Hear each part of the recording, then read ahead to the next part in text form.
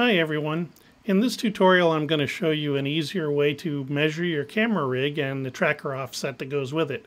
Uh, this setup requires you to have an extra Vive tracker to do the measuring, but it gives you a pretty accurate measurement very quickly. Much easier than using rulers or calipers to get measurements off your actual camera rig. To use it is pretty simple.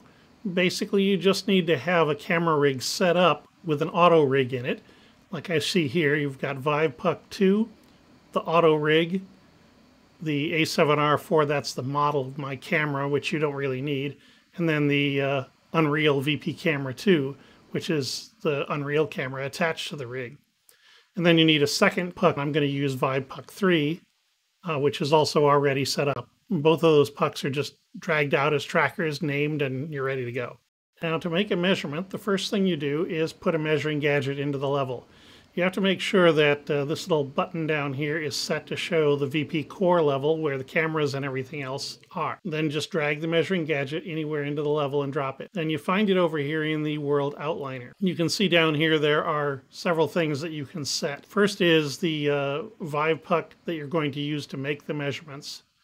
And for me, that's Vive Puck 3. And then you need the Vive Puck actor that is on your camera rig. And in this case, that's Vive Puck 2 and then you need the actor that represents the auto rig in that setup. And like I showed you earlier, that's just called auto rig in my setup. And now you're pretty much ready to make a measurement. You start by pressing play, and then I hit I to go into inspection mode. And I zoomed in on the camera so you can see what it looks like. Right here, auto rig has all of its values zeroed out. And so the camera is basically looking like it's sitting right on top of the tracker. Now I'll go in and I'll make the camera disappear so you can see what's happening better. Now you can see just the tracker without the camera model in the way. And you can see the auto rig, which are those three different colored sticks coming out the bottom of the tracker. And you can see here uh, I have measured tilt, vertical, horizontal, and entrance pupil.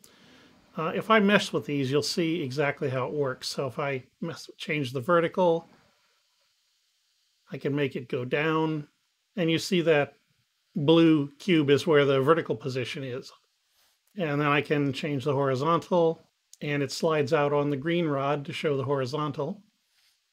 And then I can change the entrance pupil measurement and you see that cube slides forward. Before, the only way to get all these measurements correct was to hand measure your camera rig, which was kind of a pain in the neck. And it was also a little bit difficult because of the odd shapes of most camera rigs. They're kind of hard to measure with a ruler. The measuring gadget gets around that by using the Vive tracker, the extra one that we set up earlier. To take a measurement, first put the lens cap on your camera.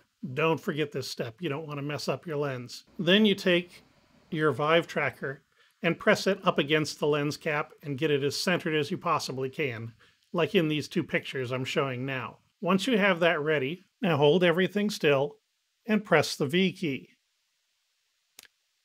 After a second, You'll see that message appear, and you'll notice all the values in Auto Rig have been set. Now I've turned the 3D model of the camera back on so you can see how the camera sits. And if you go back and look at the picture of my actual rig, you'll see that the measurements and the setup of everything look pretty much the same. And that's really all there is to it to get a quick measurement. Before you hit stop, make sure you write down the numbers in Auto Rig because Unreal will reset those to what they whatever they were when you started playing. Now, a bit more explanation about these numbers inside of AutoRig. You notice there's two groups here, one called measured and one called adjust. The, one called, the ones called measured are meant to be the actual measured values you've taken off your rig, either with the measuring gadget or using a ruler or calipers. These are meant to be as close as you can get to correct, at least measuring by eye. But odds are that when you go down to actually align your set with the camera, you'll find that you're slightly out of line and need to make small adjustments to something. This can happen because the rig was bumped since you used it last, or maybe something in the rig is not perfectly straight or has twisted a little bit over time. In any case, these are set up to make very small changes in the values that you measured to get everything to line up correctly. Also remember that the measuring gadget is not actually measuring the entrance pupil it's measuring the front of your lens. The entrance pupil will normally be a bit behind the front of the lens, how much depends entirely on the lens. You will need to figure out the location of the entrance pupil on your own and use the adjust entrance pupil to bring this measurement into the right line. You can see how to set up your entrance pupil and how to measure it in some of my earlier tutorials, and I'll probably be revisiting that again in a future tutorial as well as I find a better way to, to measure it. In any case, when you start aligning your set in your camera, you can just come in here and make small adjustments to pan, tilt, horizontal, vertical, and entrance pupil in order to get everything into proper alignment. Save those numbers away, and you're good. Once you've measured all of your rigs and lenses, you can just delete the measuring gadget from the level and go ahead and shoot some video. Just as a reminder, the measuring gadget is kind of experimental still. It seems to work quite good for me, but I'm not sure how it will work for you. If you have problems using it, please let me know and give me some information on what the problems were. To get the best measurements, try to position your hand on the tracker so you're not blocking too many of the sensor's view of your base stations. It also is important to have it properly centered on the lens cap when you take the measurement. There are a couple of ways you can help out on this if you don't feel confident to do it by hand.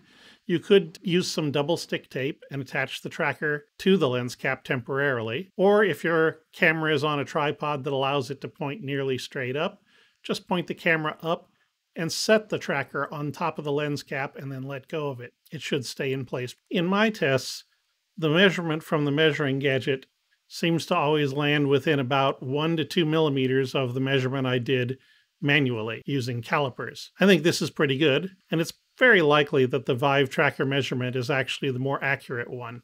I hope you find the measuring gadget a useful way to set up your camera rig with less fiddling about with rulers and calipers. That's all for now.